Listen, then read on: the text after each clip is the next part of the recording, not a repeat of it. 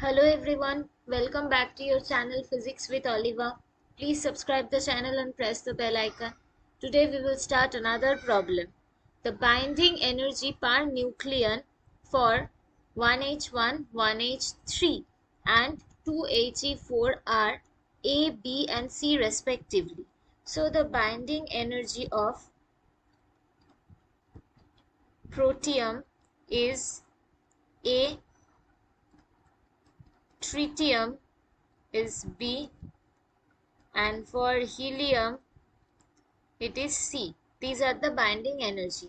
We have to consider this is not binding energy. These are the binding energy per nucleon. How many nucleons are there we have to calculate. We can see that in the in the first atom two nucleons are uh, sorry uh, one nucleons are there this is the mass number. Mass number means mass number mean number of proton plus number of neutron right?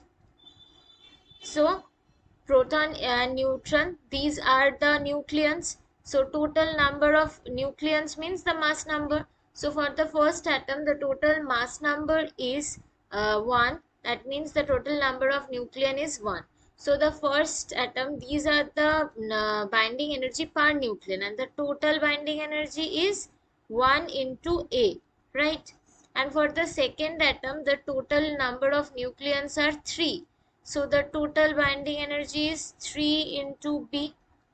And for the third atom the number of nucleon is 4 so the total binding energy is 4 into c right? Okay now consider this equation. We have to calculate how how uh, much energy is released in this nuclear reaction. So in this nuclear reaction we can see this is the product and these are the reactants right? These are the reactants. So the energy released here energy is released. So energy released is equals to the total binding energy of reactants minus total binding energy of products right? So total binding energy of reactants are a plus 3b so a plus 3b minus binding energy of products. Binding energy of products is 4c so the amount of energy released is equals to A plus 3B minus 4C.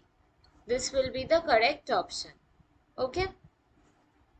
Thank you everyone for watching the video. Like, share and subscribe.